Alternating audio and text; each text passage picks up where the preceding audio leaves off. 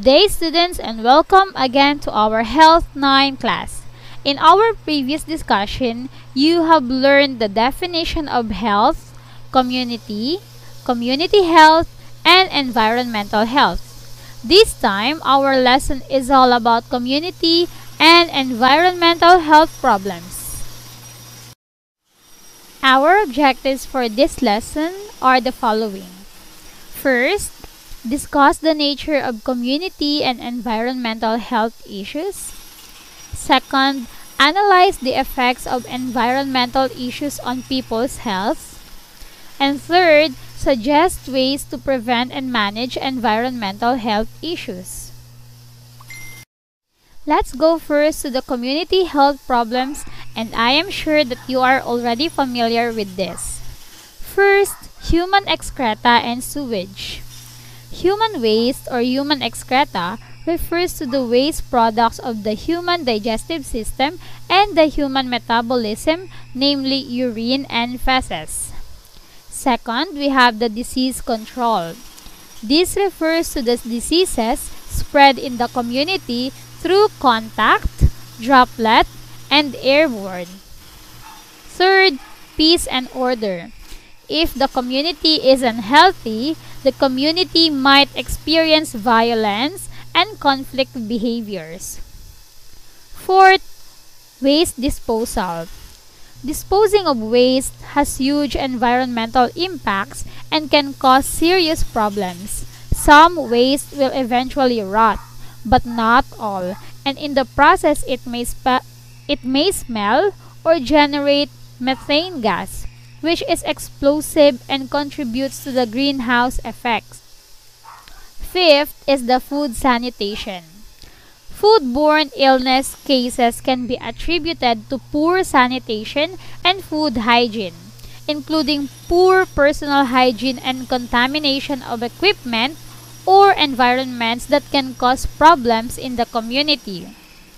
Sixth is water supply.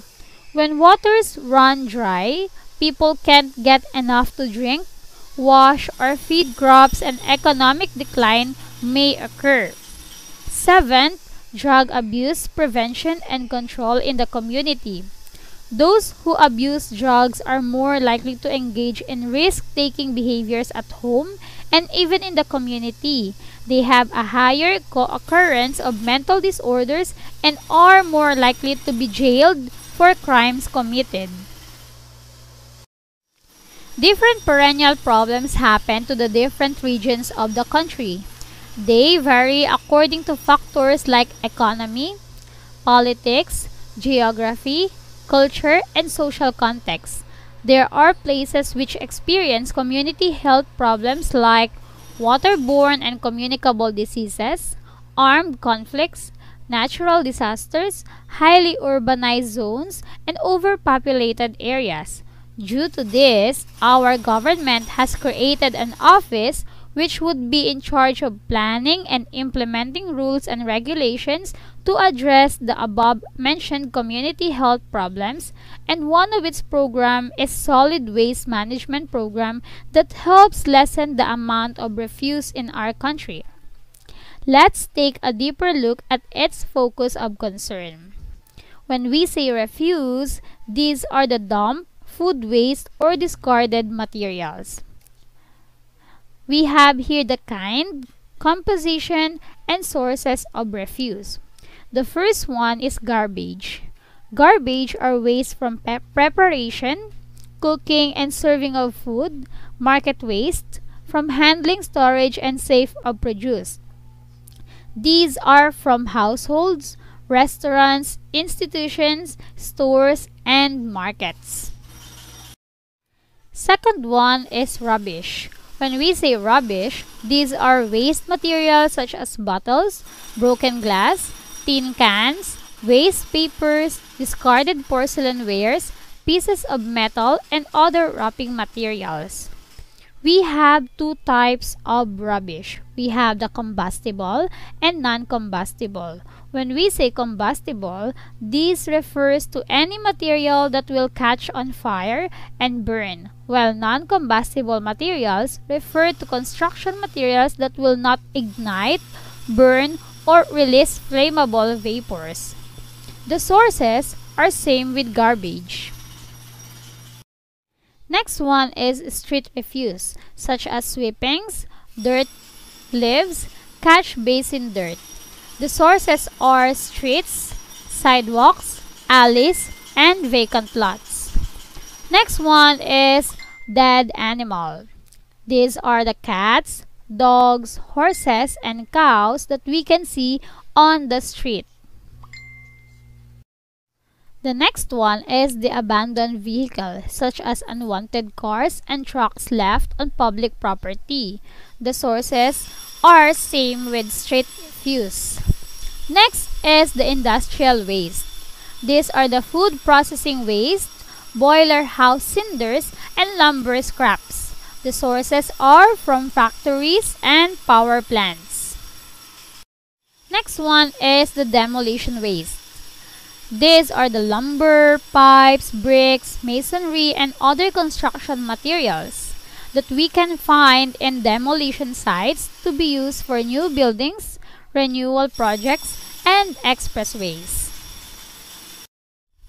The next one is the construction waste. These are the scrap lumber, pipes, other construction materials that we can find in new construction or remodeling building.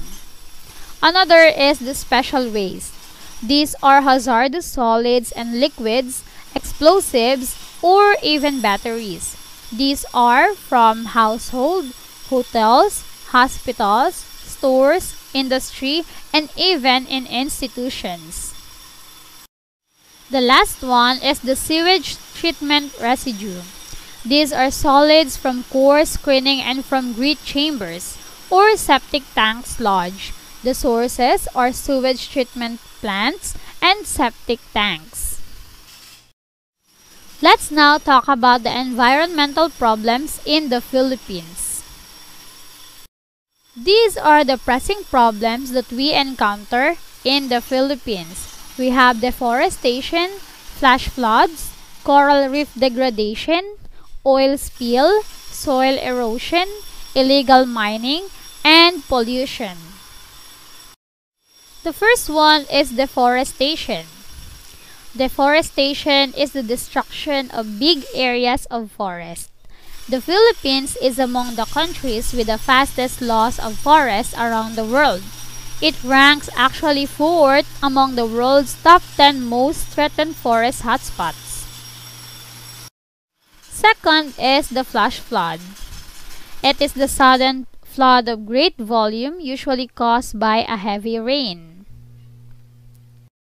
The next one is illegal mining. It is the extraction of valuable minerals or other geological materials which form the mineralized package of economic interest to the miner in the absence of land rights, mining license, exploration or mineral transportation permit, or of any document that could legitimate the ongoing operations. Another problem is the soil erosion. This happens when soil and rock are moved from one place to another by wind, water, and gravity.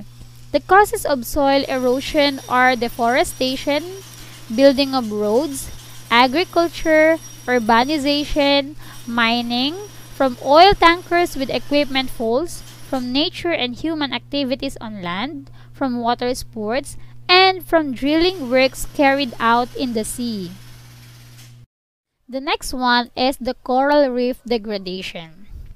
Coral reef destruction is defined as the degradation and potential mass death of the ocean's corals. The most important causes for coral reef degradation are coastal development and excessive exploitation of its resources. Overfishing and the use of destructive fishing methods have decimated fish populations on reefs and destroyed their habitats as well. Next one is pollution. This is any alteration of the physical, chemical, and biological properties of water, air, or land resources. We have four types of pollution We have the air pollution, water pollution, noise pollution, and soil pollution. Let's go now to the effects of the environmental problems that we have mentioned earlier. We have the deforestation. The effects are soil erosion, landslides, greenhouse effect, denuded upland, silting of rivers and dams, degraded watershed, flooding, and destruction of corals along the coast. Let's go now to the effects of flash flood.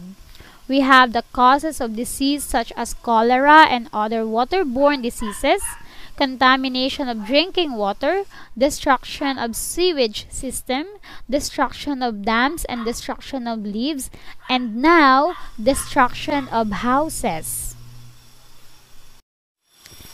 Soil erosion.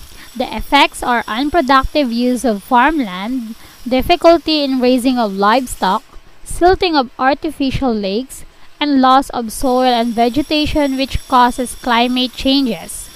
We also have the oil spill as one of our environmental problems and the effects are suffocation of marine mammals and death of trees from oil in roots. We have the coral reef degradation and its effects are the loss of edible reef fish, reduction of species diversity and richness, alteration in the site structure or target species. And lastly, we have the illegal mining. Its effects are water poisoning of all the living things, destruction of beautiful coral reefs, and bareness of land.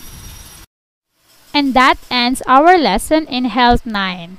I hope that you are one of the people who are protecting and saving our environment to avoid our future problems in our environment. Thank you and have a good day.